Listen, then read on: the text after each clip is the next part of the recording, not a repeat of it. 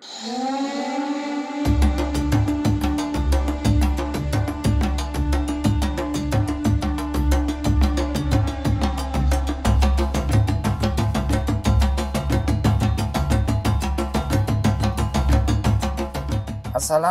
warahmatullahi wabarakatuh. Selamat datang kembali di channel ini. Semoga kita dilimpahkan kesehatan dan keselamatan Video kali ini menceritakan tentang sebuah surat dari Raja Sriwijaya Yang meminta Khalifah Bani Umayyah untuk mengirimkan misionaris ke negerinya Agar bisa mengajarkan Islam saat itu khalifah yang berkuasa adalah Umar bin Abdul Aziz atau disebut juga Umar II dia adalah sosok khalifah yang berkuasa dari tahun 717 sampai 720. Waktu itu dia memimpin di usia 35 tahun.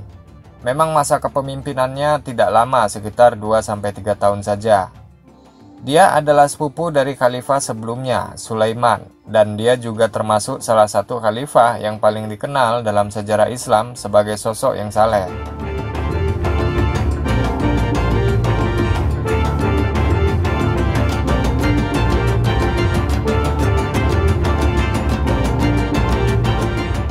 Islam berkembang hingga ke timur dimulai dari migrasi ke Tibet pada masa pemerintahan Umar bin Abdul Aziz sekitar tahun 720. Waktu itu delegasi dari Tibet dan Cina meminta misionaris muslim datang ke wilayah itu. Khalifah mengirim Salah bin Abdullah Hanafi untuk berdakwah ke Tibet. Banyak imigran muslim dari Kashmir yang memasuki Tibet hingga sekitar abad ke-12.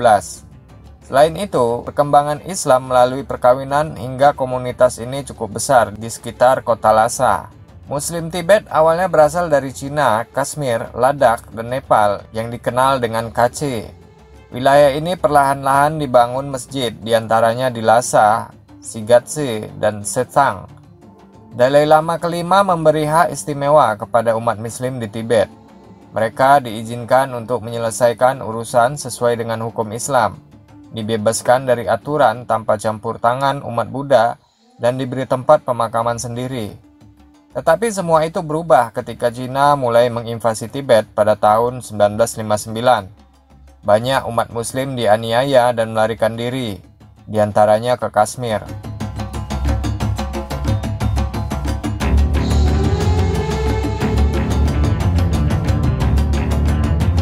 Penyebaran Islam tidak hanya ke timur, tetapi juga meluas hingga ke Tenggara. Berdasarkan catatan dari Arab, Sriwijaya disebut dengan nama Sribuza.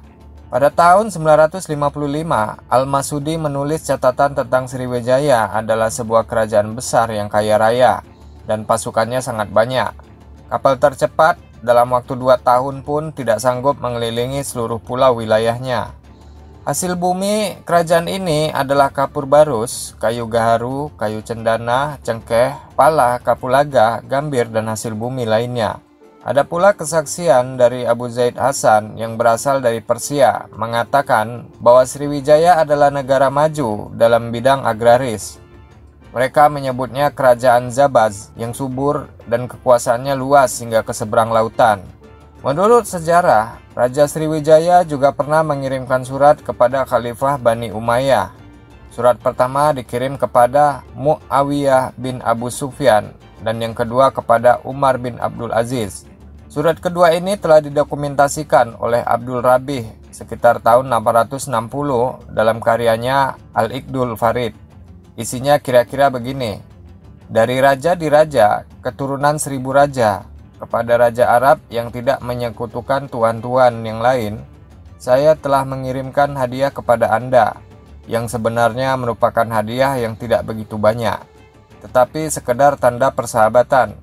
Dan saya ingin Anda mengirimkan kepada saya seorang yang dapat mengajarkan Islam dan menjelaskan kepada saya hukum-hukumnya.